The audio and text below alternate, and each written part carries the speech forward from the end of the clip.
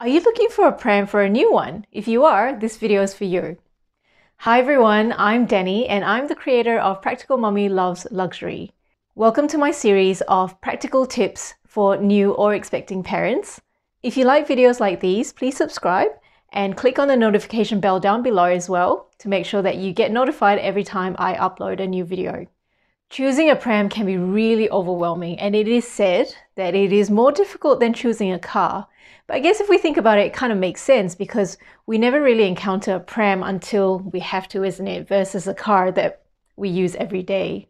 But not to worry, I've got a few tips for you today that will make your decision process easier.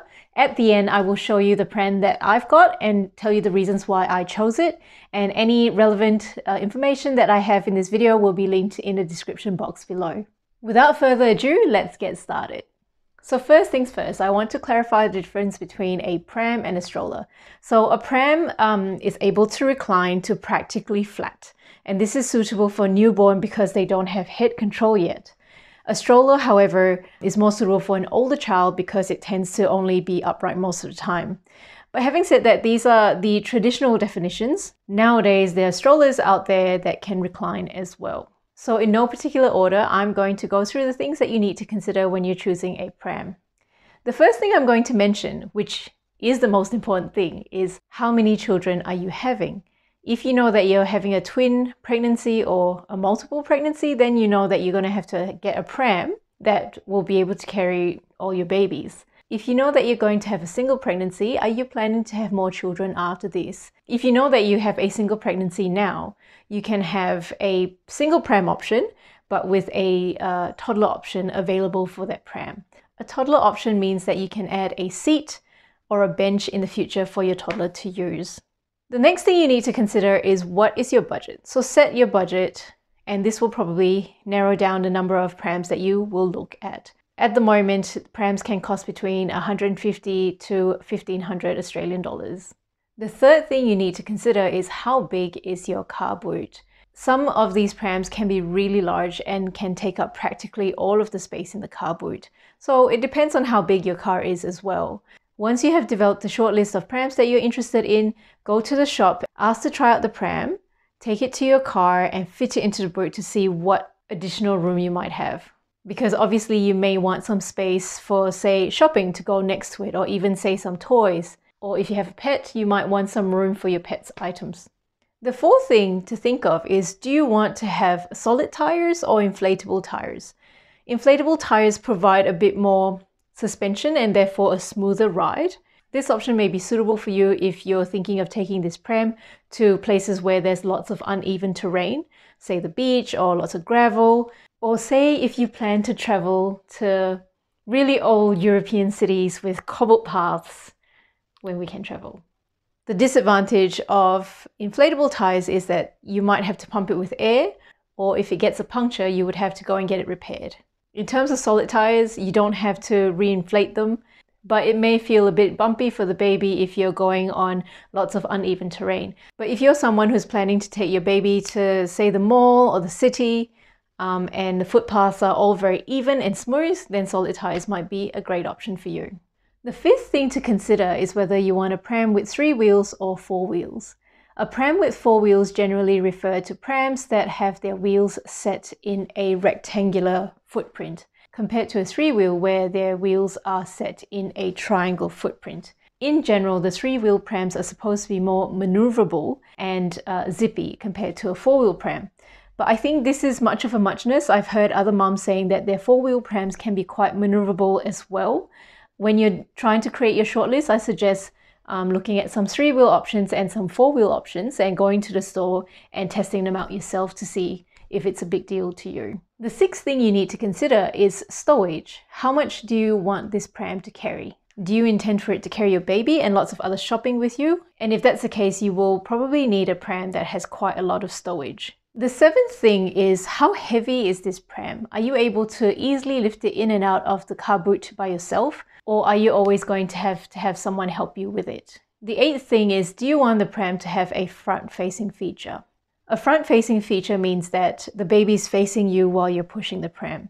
You may have read that in the first three months they recommend for the baby to be facing mom or dad when the pram is being pushed because otherwise it can seem a bit isolating for the baby. It is also said that if you are facing your baby, it will help bonding.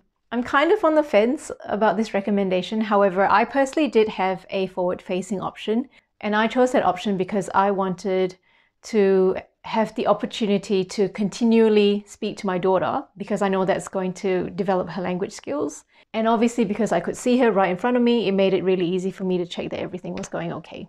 The ninth thing is do you want height adjustable handles? So the height can be adjusted for uh, a little mum and a tall dad. And yeah, I guess it can be vice versa as well. I'm kind of 50 50 on this one. I am 5 foot 1 or 152 centimeters. My husband is 6 foot 1 or 182 centimeters. There is a huge height discrepancy between the both of us, but our pram is not height adjustable. I think when you get a pram with fixed handlebar heights, they tend to be fixed at a level that's for an average height person. So whether it's myself or my husband pushing the pram, neither of us have really noticed that it's bothersome. It might be important for maybe a family that travels a lot and they would push the pram over long distances and perhaps very uneven terrain. I guess in that manner, it would make sense for the pram to be adjusted in the most ergonomic manner to the person who's pushing the pram. The 10th thing to consider is do you want a travel system? A travel system refers to a pram that comes along with a capsule or a car seat, and you can buy them as a set in those situations, I think sometimes you can get a good price because you're essentially buying uh, two items from the same company. I didn't go with this option because I was set on getting the pram that I have now and I managed to work around it. And I'll talk more about that later on when I show you my pram. And now that you know all the features that you need to look out for in a pram, you can decide on what your priorities are and what would be your deal breakers. I'm going to take you now to this website called prams.com.au it has this awesome pram chooser, which gives you a short list of prams that have certain features, including their prices on as well. So here we are on prams.com.au. As you can see, there is a lot of information available on this website. I'm going to take you here to the pram chooser. So here's the pram chooser. And if you scroll down here, you're able to select the features of the pram that you would like. So say here I decide to go for a single option with three wheels. I scroll down and a list of options have come up along with their prices as well. And if I scroll down here, here is my Baby Jogger City Mini, which is the pram that I own. And there's all its specifications here. So the weight, and it's a single pram, it's got three wheels, it has suspension, it does not have reversible seating, but I will talk more about that later in my video. And say you are looking at these pram features and you're not particular about some of these features, say you don't mind whether the pram has three wheels or four wheels, you can go ahead and untick three wheels and see what happens when you tick four wheels. And then you'll see the options that turn up and you can compare the prices and you can include these prams in your shortlist. And then you can take your shortlist to the store and have a hands on experience. In Adelaide, I find that the store that has most options to play with is Baby Bunting. I strongly advise that when you go to the store to go and look at these prams, bring your shortlist and also bring your list of priorities and deal breakers. Because when you go into store, it's really easy to be overwhelmed by the amount of choices, and you can also get distracted by another well meaning parent who might have different priorities and needs to yourself or another salesperson who has no idea what you need. So now I'm going to take you through my pram, which is the Baby Jogger City Mini. So just the plain City Mini, not the GT. And it's going to appear on screen right now. So for me, I knew that I wanted to be able to take my baby out on my own and I needed a pram that was going to be fuss free. So the pram had to be as light as possible. The Baby Jogger City Mini is one of the lightest on the market and it weighs about seven and a half kilograms. Some prams on the market can weigh up to 12 kilograms. So it's really easy to open and close. To close it down, I can do it with just one hand. I would lift this tab right here and it will just collapse. I also find that it is light enough for me to lift in and out of the boot. It also only takes up half my boot space, which is less than some of the other prams on the market that I looked at. To open it back up, I'll just take it out from my boot. I will unlock this lock on the right hand side here and it opens up just like so.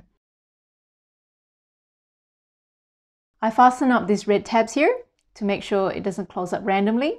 It also has just one foot operated brake, which I find really handy because there are prams that has a brake on every wheel. That means you have to activate or deactivate four brakes when you want to stop or go. And I find that really inconvenient.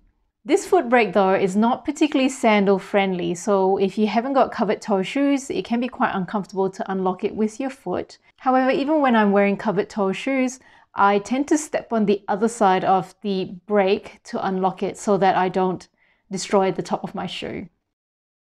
I also love the large canopy, which is great for really hot or rainy days. It also reclines to almost flat, so it's great for baby sleeping on a go. And recently I discovered a mother who changes her baby's nappy in her City Mini. I wish I knew that myself back then. There's also an air vent on the back here which allows for ventilation, but on rainy days, you can also cover it up like this.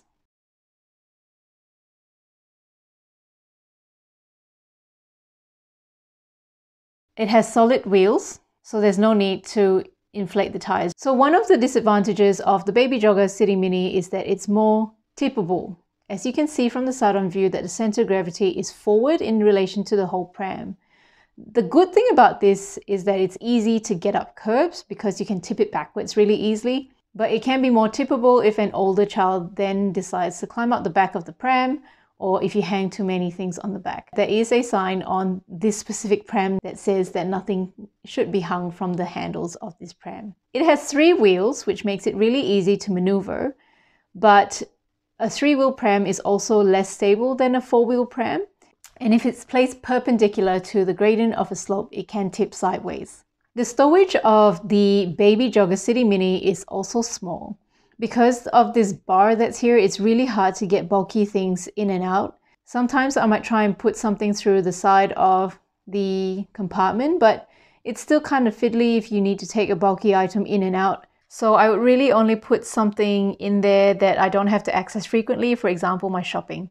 I tend to carry my nappy bag on my back. If I was carrying uh, my baby in the carrier, I would then place my nappy bag in the seat of the pram. I've heard some mothers carry some small loose items inside this compartment though. Also, contrary to its name, this baby jogger model does not jog. That's something that doesn't really bother me, but if you're a jogger and you need that function in your pram, this is not the pram for you. So the City Mini retails for about 500 Australian dollars, which is great for what it offers. I purchased mine in 2017 for about 360 Australian dollars because I waited for a sale before I bought it. In terms of accessories for the pram, they're extra if you want them. I have a parent console here and I think this is super useful. Baby Jogger has their own parent console, but mine is a more affordable one from eBay and I'll link it in the description box below. It holds my coffee, my water bottle, my phone, so it's super handy. Now remember that this pram is tippable, so if you're going to attach this to your pram, please do this at your own risk. And as you can see here, I've got a pram liner on my pram. I highly recommend these because sometimes the baby might have a poo or a pee accident inside the pram and you can just remove the liner to wash it separately. These ones I got off eBay and I'll link some in the description box below. I also bought this tray for my little one and it attaches just like so and it carries some of her snacks and her water bottle. From memory, this tray retailed for about 100 Australian dollars. So as I said before, I did have a forward-facing option for my baby when she was really young.